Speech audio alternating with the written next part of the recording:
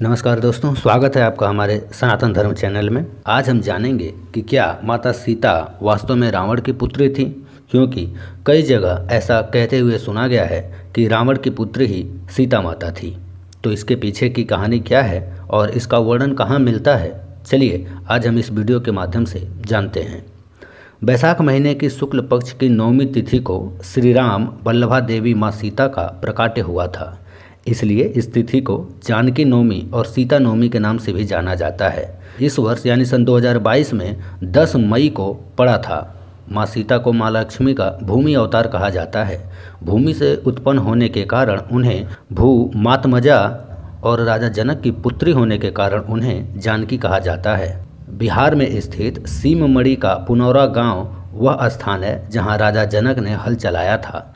हल चलाते समय हल एक धातु से टकराकर अटक गया।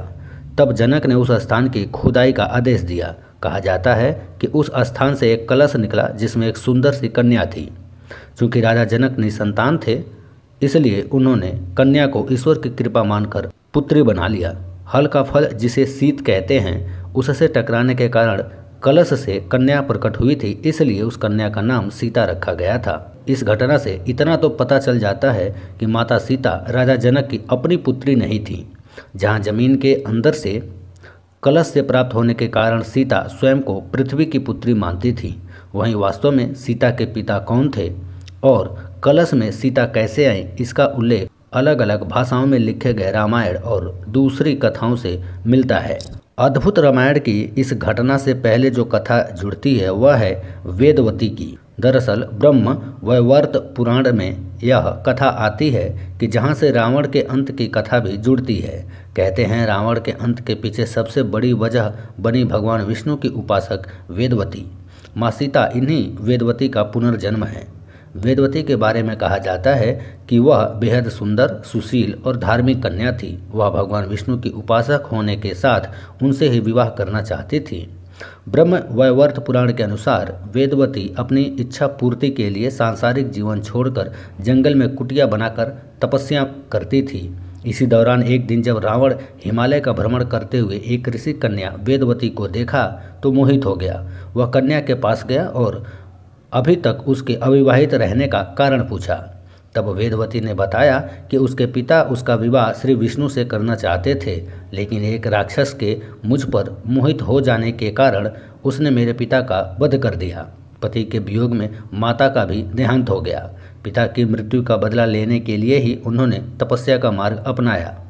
रावण ने शुरू में वेदवती को बहलाने की कोशिश की, लेकिन उसके नहीं मानने पर उसने वेदवती के केस पकड़ लिए तब कहा जाता है कि वेदवती ने रावण के द्वारा पकड़े गए बालों को काट दिया और दौड़ते हुए अग्निकुंड में कूदकर अपनी जान दे दी। लेकिन मरने से पहले उन्होंने रावण को श्राप दिया कि वो खुद रावण की पुत्री के रूप में जन्म लेकर उनकी मृत्यु का कारण बनेगी। वहीं वेदवती अपने अगले जन्म में एक कन्या के रूप में जन्मी और रावण के विनाश का कारण बनी। अद्भुत रामायण में ही उल्लेख है कि रावण कहता है कि जब मैं भूलवश अपनी पुत्री से प्रणय की इच्छा करूँ, तब वही मेरी मृत्यु का कारण बने। अद्भुत रामायण के प्रसंग के अनुसार ही दंडकारण्य में गृतसमद नाम का एक ब्राह्मण रहता था, जो माँ लक्ष्मी को पुत्री रूप में प्राप्त करने की कामना करता था। इसी कामना से वह प्रतिदिन एक कलश में कुश के अग्रभाग से मंत्रोच्चारण के साथ दूध की बूंदें समर्पित करता था। कहते हैं, उस समय देव असुरों के बीच संग्राम चलता रहता था। कभी असुर देवों पर तो कभी देव असुरों पर आक्रमण किया करते थे। उसी बीच किसी दिन रावण उस ब्राह्मण की कुटिया पर पहुँच गया। उस समय मृसमद वहाँ उपस्थित नहीं थे। इसका फ़ायदा उठाकर रावण ने आश्रम के अन्य ब्राह्मणों और ऋषियों को मारकर उनके रक्त को उसी कलश में भर दिया। कहते हैं कि रावण उस रक्त कलश को अपने साथ लेकर लंका चला गया, जहाँ उसने अपनी पत्नी मंदोदरी को उस कलश को संभाल कर रखने को कहा। वहीं मंदोदरी को उस कलश में क्या है, इसके बारे में बताते हुए उसने कहा, इसमें बहुत ही जहरीला विष है। जब रावण, कुछ दिनों के बाद जब रावण बिहार के उद्देश्य से किसी पर्वत पर चला गया तो मंदोदरी को पसंद नहीं आया। कहते हैं, अपनी उपेक्षा से खिन मंदोदरी ने मृत्यु को वर्ण करने के उद्देश्य से कलश में रखा पदार्थ पी लिया। वहीं देवी लक्ष्मी को पुत्री के रूप में प्राप्त करने के लिए मंत्रोच्चारित दूध का ऐसा प्रभाव पड़ा कि मंदोदरी गर्भवती हो गई। उसके बाद मंदोदरी ने सोचा कि जब मेरे पति मेरे साथ नहीं हैं, ऐसे में जब उन्हें इस बात का पता चलेगा तो वह क्या सोचेंगे? यही सब सोचते हुए मंदोदरी तीर्थ यात्रा के बहाने कुरुक्षेत्र चली गई। कहा जाता है कि वहीं पर उसने गर्भ को निकालकर भ्रूण को एक घड़े में रखकर भूमि में दफन कर दिया और सरस्वती नदी में स्नान कर वह वापस लंका लौट गई। कहते हैं, कालांतर में इसी भ्रूण से सीता का जन्म हुआ। मान्यता है कि वही घड़ा हल चलाते समय मिथिला के राजा जनक को मिला था, जिसमें से सीता जी प्रकट हुई थीं।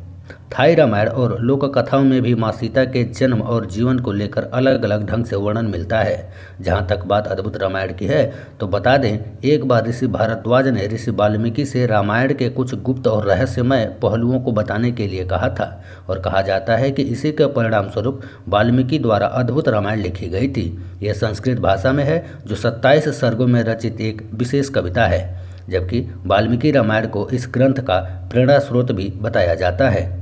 तो दोस्तों, कैसी रही जानकारी? आज के लिए बस इतना ही। मिलते हैं अपने अगले वीडियो में। तब तक के लिए जय श्री राम।